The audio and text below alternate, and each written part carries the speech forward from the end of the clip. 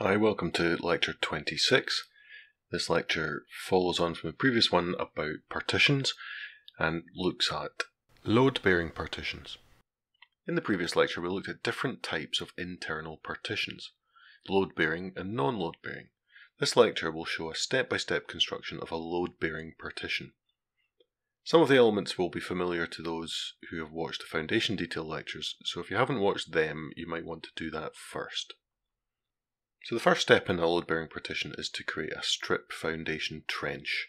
So we need to clear the site and get a digger in and dig a trench under the line of the partition. Into this trench we would pour concrete to form our foundation and this may or may not have reinforcement depending on the design. And onto that we'd build a single leaf of blockwork built up from the foundation up to the finished floor level. So the block needs to be the same width as the structural partition above. If our partition is going to be made of 100mm timber, therefore we would need 100mm of block work.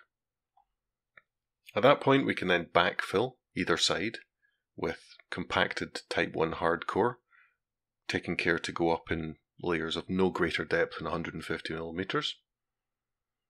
And of course, because hardcore's got a jagged surface, we would blind that with 50mm sand to smooth it off. Onto the blinding, we can add a DPM, so a damp proof membrane going across the floor, and that would wrap up over the top of the substructure wall and lap and be sealed with a DPC. And now we've got everything watertight with our DPM and DPC, we could add insulation over the top and finally, top it all off with a concrete floor slab that would come up to the level of the substructure wall. Onto that, we can add our timber framing element, so we'd put our bottom rail and fix it back down through the substructure wall. And depending on what type of partition we use, and if you refer back to the previous lecture on acoustic partitions, um, in this example we're using a single layer of plasterboard with internal insulation, we can add those two things in place. To make our floor a little bit more comfortable and less noisy, we would put a separating membrane on top of the concrete slab and then maybe put floor battens down.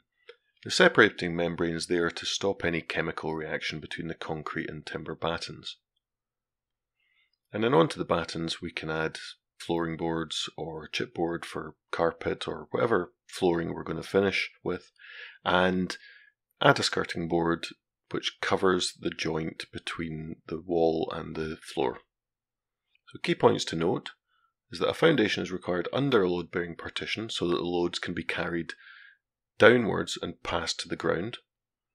A substructure wall of concrete block is built below the partition and this should be the same width as a partition above.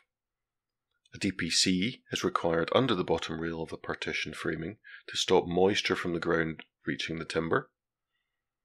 Acoustic performance is required of the partition in that this can be achieved by one of the constructions shown in the previous lecture. And finally, a skirting board is installed to the base of the partition to cover the joint between the bottom of the plasterboard and the floor. Okay, thank you very much for listening, and if you get any questions, as always, please let me know.